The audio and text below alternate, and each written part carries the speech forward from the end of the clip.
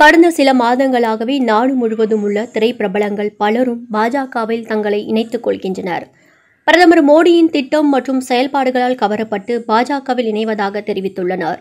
தமிழகத்தில் நடிகை குஷ்புவை தொடர்ந்து பல நடிகர்கள் பாஜகவில் இணைந்து வருகின்றனர். சமீபத்தில் நடிகர் திலகம் சிவாஜி கணேசனின் மூத்த மகனும் பிரபல தயாரிப்பாளருமான ராம்குமார் குடும்பத்தோடு பாஜகவில் இணைந்தார் என்பது நம்ம அறிந்தது ஒன்றுதான். அதனைத் தொடர்ந்து நட இணை இயக்குனர் கலா பாஜக கட்சியில் இணைந்துள்ளார். மேலும் கடந்த ஒரு சில நாட்களுக்கு முன் பிரபல நடிகை ராதா மற்றும் குணச்சித்திர நடிகர் தேவன் பாலிவுட் பிரபல நடிகர் மிதுன் சக்கரவர்த்தி ஆகியோரும் பாஜகவில் இணைந்தனர். இவர்களைத் தொடர்ந்து பிரபல நகைச்சுவை நடிகர் செந்தில் தமிழக பாஜக தலைவர் எல். முருகனை சந்தித்து தன்னை பாஜக கட்சியில் சற்று முன் இணைத்துக் கொண்டுள்ளார்.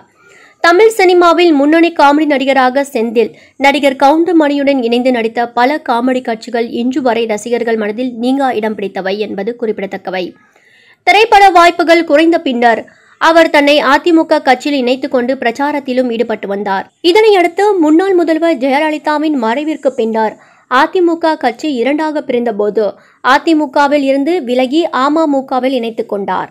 இந்நிலையில் கடந்த ஆண்டு அமமுக கட்சியிலிருந்து விலகி மீண்டும் அதிமுகவில் சேர்ந்த நடிகர் செந்தில் தற்போது அதிமுகவில் இருந்து விலகி பாஜக கட்சியில் இணைந்துள்ளார். எனவே இவர் பாஜக கட்சிக்கு ஆதரவாக சட்டமன்ற தேர்தல் பிரச்சாரங்களில் ஈடுபடுவார் என எதிர்பார்க்கப்படுகின்றது.